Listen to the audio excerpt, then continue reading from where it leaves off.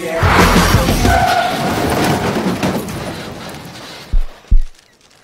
don't think your mammy would be too pleased about that now. What a beautiful fucking day.